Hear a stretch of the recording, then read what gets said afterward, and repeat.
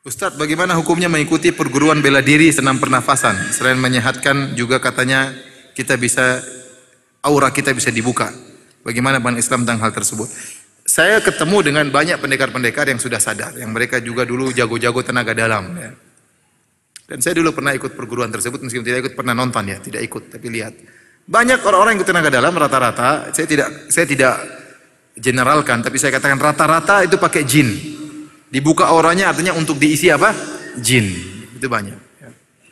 Dan banyak seperti itu. Ya. Bahkan pernah ditayangkan di televisi, tahu-tahu emosi kemudian bisa ditarik itu ya, kebanyakannya pakai apa? E, pakai jin ya. Maka saya sarankan untuk dijauhi. Kalau anda sudah terbuka, jin mudah masuk, ke depan anda mudah dimasuki untuk oleh oleh oleh jin. Jadi itu tidak ada kaitannya dengan Islam.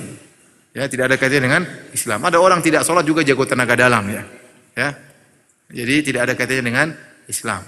Bahkan kalau dikatakan dikaitkan dengan Islam, maka kita mengatakan justru berbahaya Anda mengatakan ini bagian dari Islam. Kalau ini bagian dari Islam, harusnya Nabi SAW paling jago tenaga dalam. Harusnya Abu Bakar, Umar, Utsman juga paling jago tenaga dalam. Ya. Harusnya Bilal bin Rabah praktek depan Abu Jahal nih, nggak mempan ya harusnya. Tapi enggak, enggak ada. Jadi kita katakan itu perkara duniawi murni, Mungkin ada yang bisa olah tubuh, bisa jago, mungkin dengan makan tertentu badannya ringan dengan latihan-latihan, tapi banyak tenaga dalam yang pakai apa? Pakai jin ya. Maka hindari.